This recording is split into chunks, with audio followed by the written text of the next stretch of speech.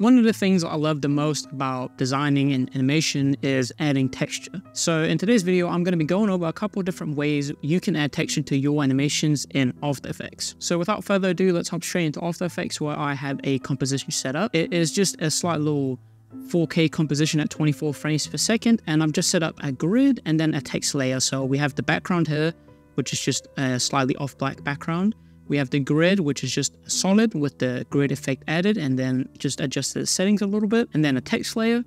And finally, an adjustment layer, which is where we are going to be demonstrating the different texture effects. The first way of creating texture is through Turbulent Displace. I use it all the time. It just looks super cool and it helps create a little bit of a hand-drawn type of feel. So if I select my adjustment layer and then open FX Console and add Turbulent Displace, we get this, which looks super wicked. I usually make two instances, so the first one I'll set to 8 by 8 and that's just going to give us just a little bit of that wobble. If I toggle you can kind of see, just gives us a little bit more detail. And then I open up the evolution options, alt click the random seed, and then I'm going to add a posterized time and then set that to 6. You can set it to whatever you want. You can even leave it out.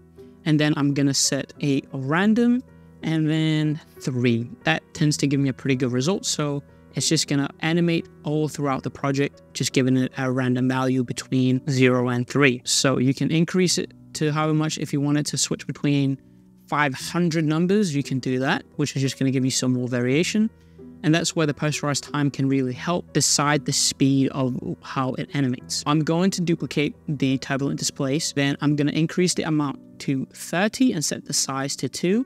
As you can see, that just gives us a little bit more of like a pencil sketch look. And I love that look. You can even do it without the first instance. It's up to you.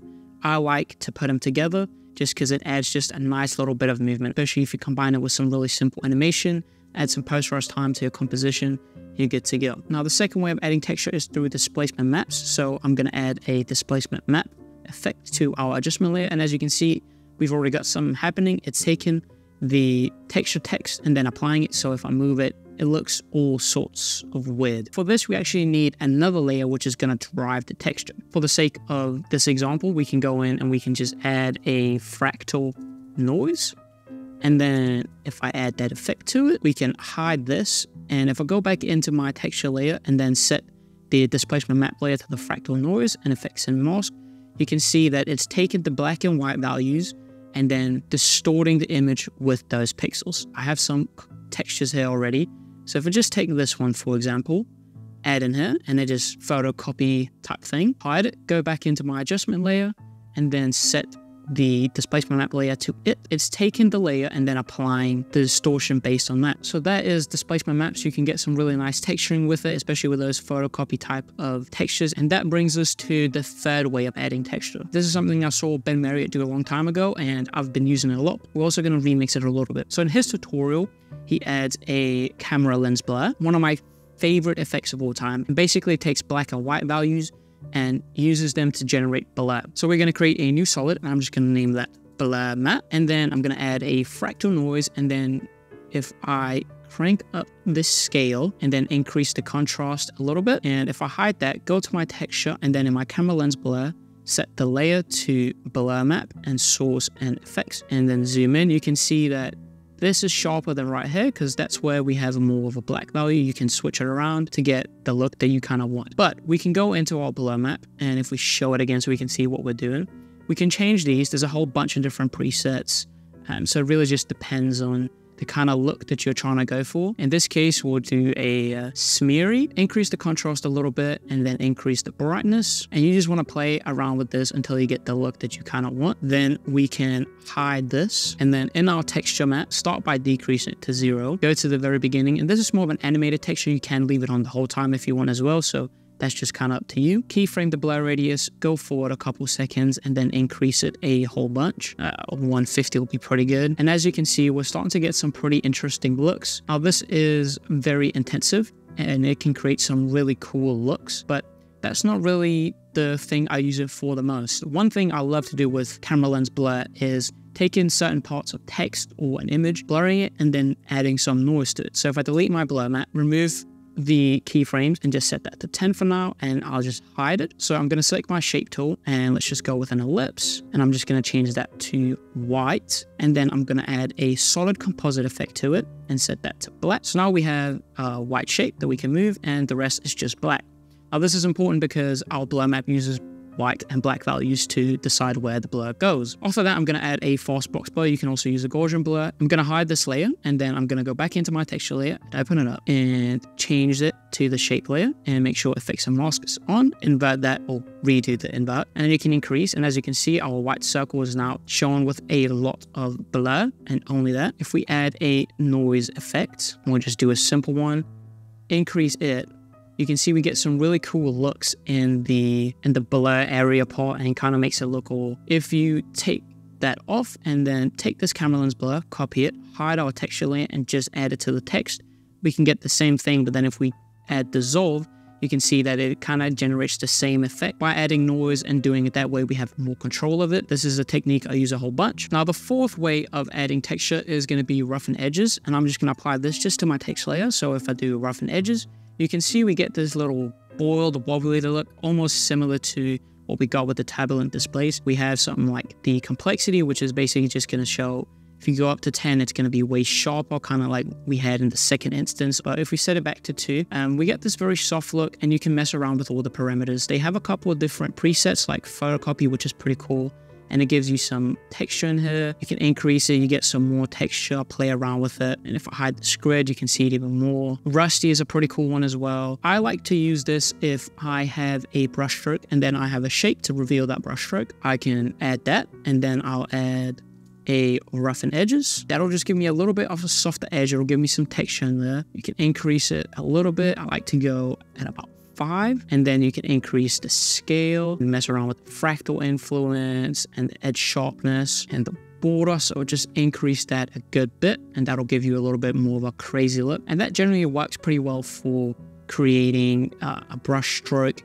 animation reveal type thing. Um, and as you can see, if you move it around, the look of it changes because it's, again, it's based on a fractal map. So it's kind of locked to that position. It's a pretty cool effect. I often combine it with the first way of adding turbulent displace just with some added texture in there. We have one final boss of textures, and that is looping textures. If you want a really in-depth breakdown of textures, looping textures, creating your own textures, I highly recommend watching Sky's video on it. I'll link it as well up in the corner and in the description. Essentially what I'm going to do is I'm going to make a new composition. So Command N, and I'm just going to name this texture and set that to, let's do 10 frames. I'm just gonna drag it in. Let's chop it right at one second. Select them all, right click, keyframe assistant, sequence layers, okay. And then we can just take this, crop it down.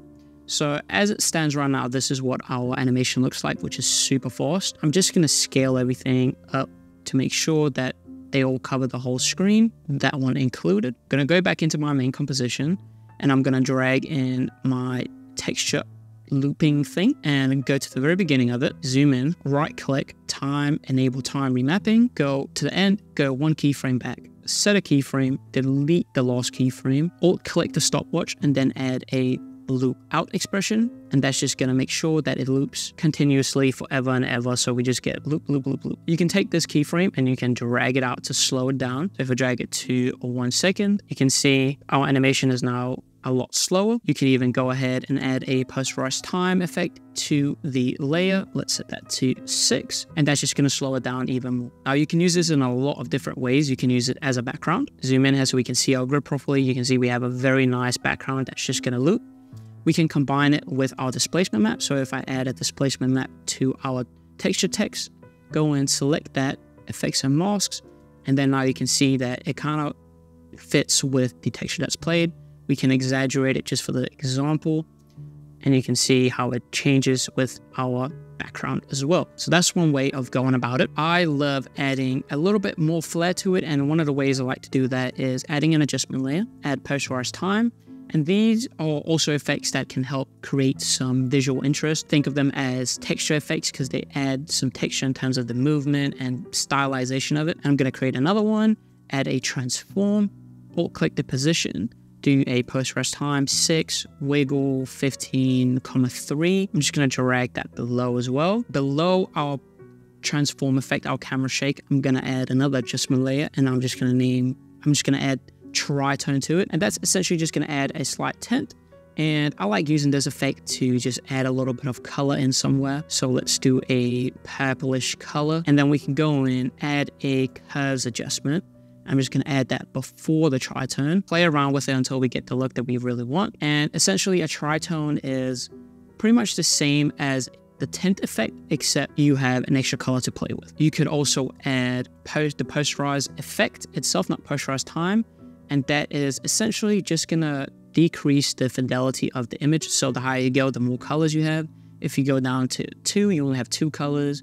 So you can play around with that to get some pretty interesting looks. So if I just show this back, we have something that looks kind of like this. And that is pretty much all for the different ways I like to add textures to my animations. You have actual looping textures, you have turbulent displace to get some boil effects, displacement maps to add the texture of your background to your text, even something like the camera lens blur, which is a sick way of adding some noise or even some watercolor looking effects. Most importantly is to play around with it and make sure that whatever texture you add fits to the type of animation that you have. You don't want a super corporate looking animation with a lot of heavy grunge textures, the same way you don't want something that's supposed to be super grungy at 60 frames per second and way too smooth. So there's a lot of things to think about. And as always, if you need places to get textures, check out my best websites for designers video because I mentioned some sources in there. Thank you for watching along. I appreciate it. And uh, I'll see you again uh, next week.